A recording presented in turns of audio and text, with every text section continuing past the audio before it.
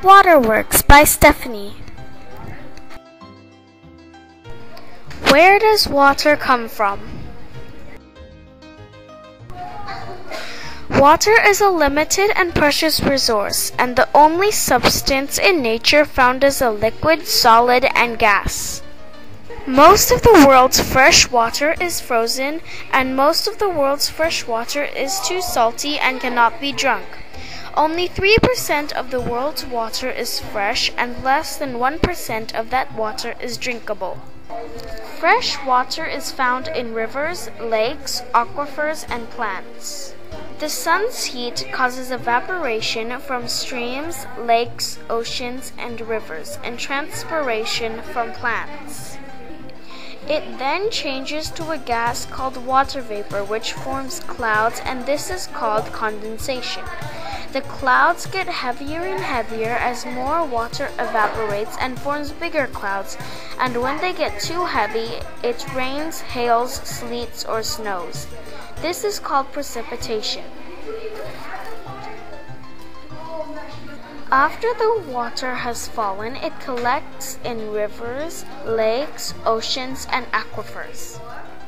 Some people's only water sources are wells. This water is cleaned when it filters into the ground through sand and gravel. Pipes bring clean water to our houses so we always have a constant water supply. This water is first cleaned and stored in a reservoir. How is water used? Water is used in many different ways. In homes, water is used for washing clothes, washing our bodies, washing dishes, cooking, and much more. In homes, we sometimes have swimming pools, which take a lot of water to fill and clean. We might also have pets that need to be washed frequently. Some people also like to play games in the water, for example, water polo. Industries also use water for many different purposes, like hydroelectricity, making paint, making medicines, making paper and pulp and paper mills, and lots more.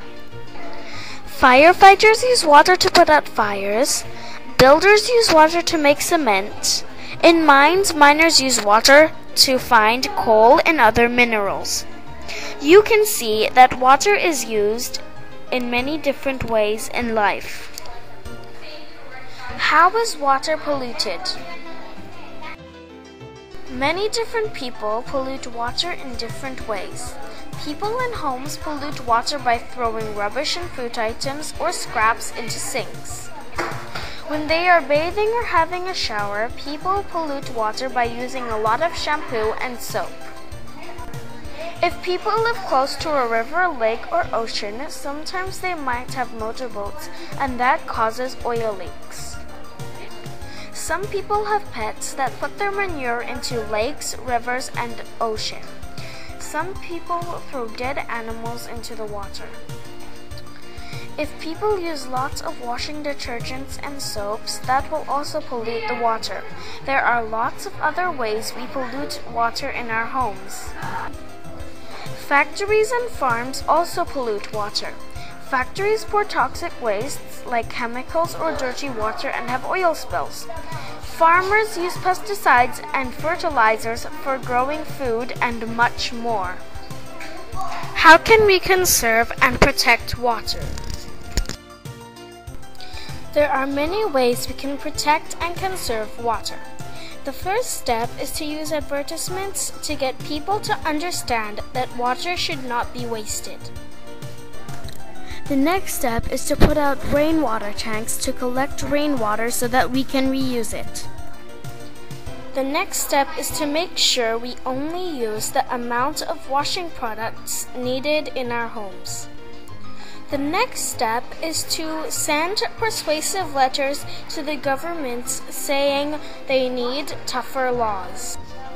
The next step is to make sure we only use our own water bottles and not the plastic ones. There are lots of other ways you can help protect and conserve water. The end.